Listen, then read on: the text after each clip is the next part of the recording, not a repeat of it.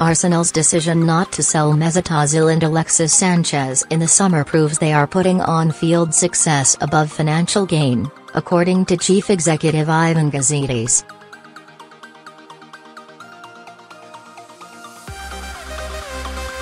Arsenal are hoping Alexis Sanchez can bring them success this season Arsenal's decision not to sell Mesut Ozil and Alexis Sanchez in the summer proves they are putting on-field success above financial gain, according to chief executive Ivan Gazidis.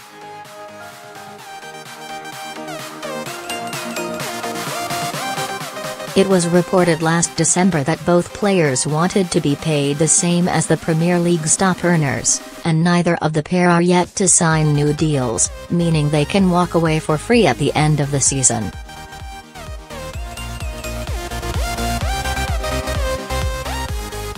That is something Arsene Wenger has said he is prepared to let happen, providing Ozil and Sanchez contribute to success in the interim.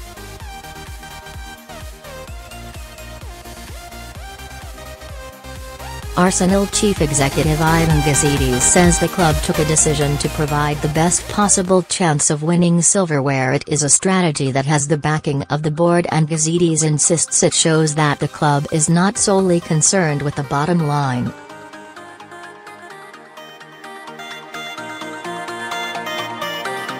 Answering questions at the Arsenal's annual general meeting on Thursday, he said, You don't always have a choice of where you sell a player, nor do you have control of whether a player extends with you or what demands his agent makes.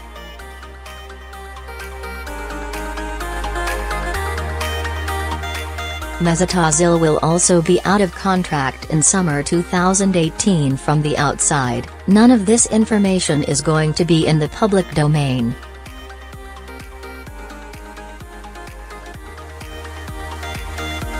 That leads to pressure and criticism. Those on the outside don't know the dynamics, don't know the demands being made, don't know the constraints.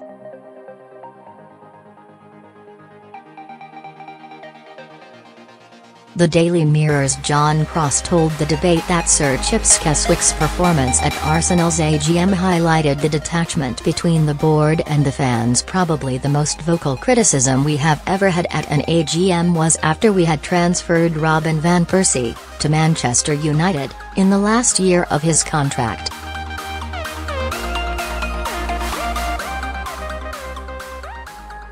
That was one of the most difficult decisions we have ever had to make and we were told then we were financially motivated and not focused on football.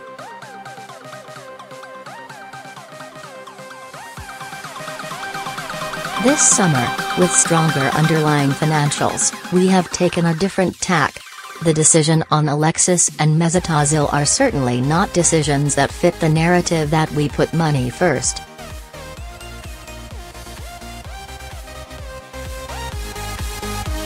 We have taken that approach to give the club the best possible chance to compete for trophies this season.